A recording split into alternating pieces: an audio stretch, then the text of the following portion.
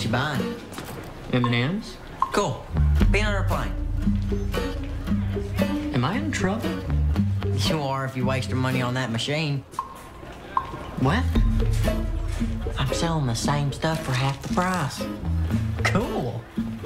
Oh, you got Abba Zabas. Do I have Abba Zabas?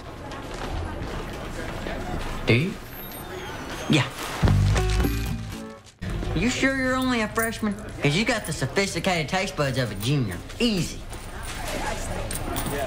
Hey, Veronica. What was that about? Just conducting a little business. Be careful. When my sister sold stuff at school, she ended up in juvie. Nothing like that. Just candy. Very entrepreneurial. I'm impressed. Impressed. Impressed. Impressed. impressed.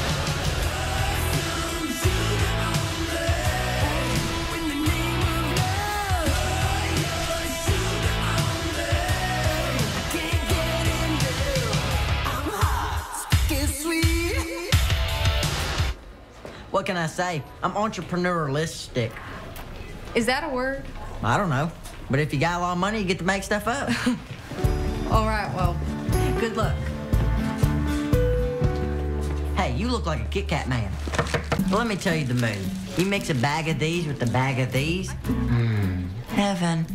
You just want me to buy two bags. I just want you to be happy. Fine. Veronica, Oh, hey. come here. I got something for you. Ooh, is it candy? No, but it is pretty sweet. Georgie, what did you do? Just open it. This looks expensive. It was. Check out the price tag. A hundred dollars? And that's without tax. I can't accept this. But I bought it for you. Well, you shouldn't have. I don't get you. I went out of my way to buy you something nice and you don't even want it. Georgie, it's too much. I mean, you're not going to impress me by throwing money around. You sure? And Material Girl, Madonna loves it. See you tomorrow.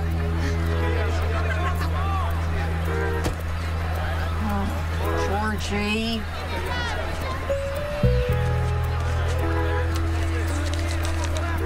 Or you get mad. This only cost me 10 cents.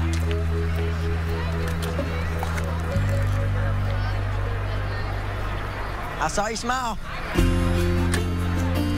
Go away, Georgie. You can eat it or wear it. It's up to you.